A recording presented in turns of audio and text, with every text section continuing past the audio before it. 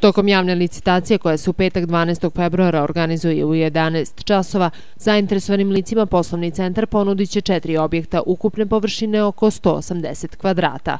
Jedan od njih se nalazi na robnoj pijaci, e, jedan se nalazi na ulazu u novu zelenu pijacu iz Dušanove ulice, e, treći objekat se takođe nalazi na novoj zelenoj pijaci pored službe mesnih zadnica i četvrti objekat se nalazi u Čola Kantinoj ulici, ulici tačnije to je objekat bivše poslastičarnice e, Gaga.